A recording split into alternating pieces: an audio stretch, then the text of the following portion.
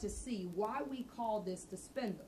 With the concept of a spindle, you always have what's called a point of origin, and then everything in the haircut and the sectioning works from that destination. So this is our point of origin right here, which is actually in what we call our rear crown off to the left side. And you can see our sections have actually all pivoted from that area. So we're going to draw all of the ends of that 90 degrees straight up into where our three inch line ended and we're going to cut. We're going to do the same thing with the hair at the bottom. We're going to comb the hair straight up all the way into that section again and we're going to cut.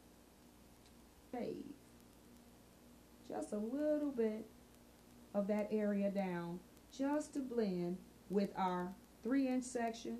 Look of our spindle haircut. Again, this is a haircut that can be done in 15 minutes or less.